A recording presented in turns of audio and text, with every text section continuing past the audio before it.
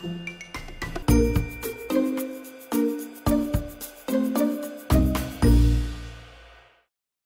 UC San Diego production. now. So, um, hi, this is Desi Bowles, um, one of your Envision staffs, and I'm here with my boss, Colin. Hey, Desi. Thanks for having me. Um, so I guess in like all the midst of like this craziness of like what this new job is, since like obviously you're watching like this YouTube channel right now, like to you as a staff, like I know it's crazy on the student end, but as a staff member, like what does that mean for you? Um, well, I guess it means a totally new approach to working and to my job, um, which is, of course, not unique at UCSD. Everybody is um, working remotely and doing the best they can to remain relevant and to, um, you know, reach out to the community. Um, but I guess specifically, uh, we're concentrating on bolstering our online content. So we've got staff members who are doing online workshops, whether they're filmed or streaming. And um, we're putting a lot of effort into really increasing the amount of tutorials we have online and um, just providing students with resources in that area. But um, also, there's a lot of thought and effort being put into just community outreach and making sure that people are taken care of and feel safe and you know still feel like they're part of the UCSD community at large and um, you know that of course is very important right now Hmm. Where do you think, like, in the next couple of months, um, this is all gonna go? Like, for students and staff, specifically at UCSD? uh, well I guess that's the question right um, and nobody really knows um, you know we, we have been getting fairly regular updates from the administration and from the dean's office and engineering school so that's been incredibly helpful. Um, but in terms of you know are we going to be back in the classrooms anytime soon? That's of course up in the air and, and who really knows.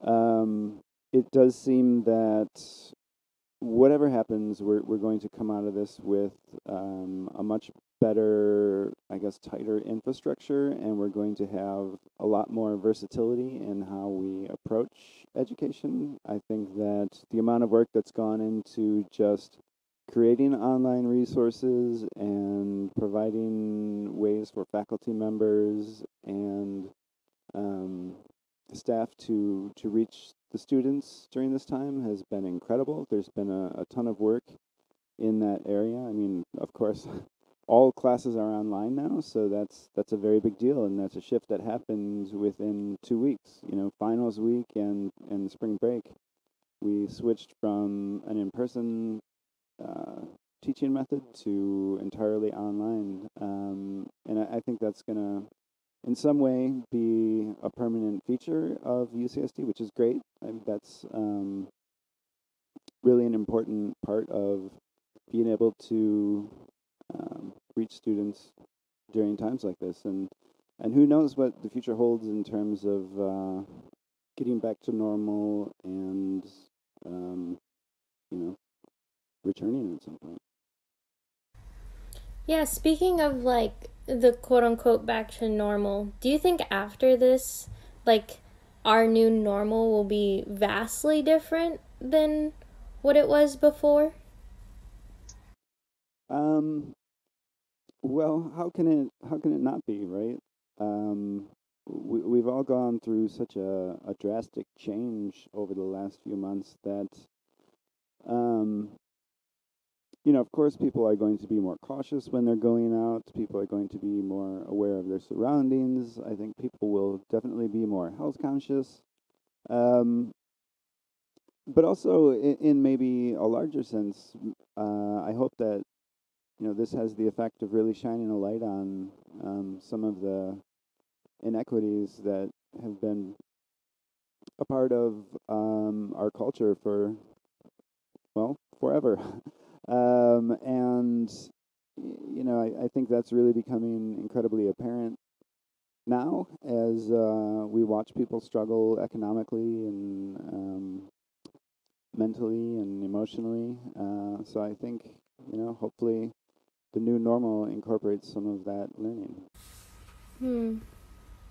And as a person who's, you know, obviously graduated through UCSD and like do you think that like this will be for the betterment? Like do you think like cuz you did like a whole bunch of like tech music and stuff like that. Like do you think the school will be able to like provide almost like a better education since things will be um, more like online readily available or do you think this will actually like harm like some of our programs that are like set in like a certain type of way? Um, well, I, I guess I think it could go either way, right? Um, and it's really difficult to say right now. I think that we've done a fairly amazing job in terms of um, just reimagining how we approach education at UCSD. It was kind of incredible to see the whole uh, teaching methodologies switch in uh, a two week time period. You know, we had finals week and spring break uh, in order to move all of our classes from in person to online. And I think that was done um, fairly successfully. I mean, the students that I've talked to have not had too much difficulty with that. Uh, of course, there are always going to be issues, but I think that um, you know just the fact that we're continuing um, at all is is kind of amazing. Um, but yeah, I think some of this will stick around. Um, you know, certainly in terms of our infrastructure, things are going to be different. Um, certainly how we interact socially on campus will change. Uh, of course, you know, Envision in particular being a space that's dedicated to hands-on work, we're, we're going to have to really rethink how people interact in the space, how people work. Um, so yeah, I, I foresee a lot of fairly big changes, um, and I think some of those will probably stick around. And I, I think, you know, that's very much for the better. Um, I think it's great that we're we're bolstering our online resources and we're um, able to provide materials for people in remote situations, and uh, you know it speaks to our overall resilience. So when the school does eventually open up and stuff, like, cause our job specifically is to like have like one-on-one like interactions or even like one on like 20 people interactions where we're like in a big space like do you think how we interact with students is going to change also drastically. Like do you think these maker spaces and like these areas where like a bunch of people are supposed to gather like do you think like that whole concept will like kind of change? Or do you think it'll just go back? Um, well, your interaction will definitely change because you're graduating, so you'll you'll have far less interaction with students. But um, no, I, I think it will largely return. Uh, who knows how quickly that will happen um, or what it will look like. But yeah, there's really no substitute for the types of things that we do in person in Envision, and I think that's fairly apparent. Um, you know, online workshops are great. Um, it's great to uh, watch someone, you know, doing something, but it's it's no substitute for having that person show you in person how something is done, um, and being able to use uh, tools and put your hands on machines. Um, that's just something that most people don't have access to during this time. So I, I think that, yeah, people are clamoring to go back to that. And I think that will largely continue. I think that um, people are really excited to get back and, you know, put their hands on some tools and uh, see some other people in person. Yeah, I I definitely think that like most students are like that were like originally excited to be able to stay at home and like not have to go to campus. I think a lot of them are really missing like just the sheer act of like getting on the bus and being like okay, like I'm ready to like like put myself in this mindset of like learning. Yeah. Um and another thing I think is important to remember in that regard is that uh, this has only been for a very limited time thus far.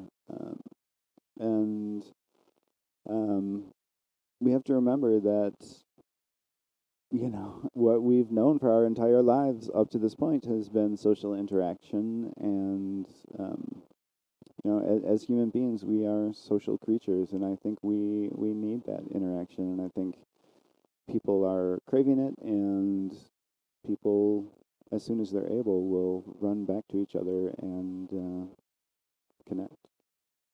Well, thank you, Clark Cullen, for um, having this interview time, and um, indeed, thanks for having me.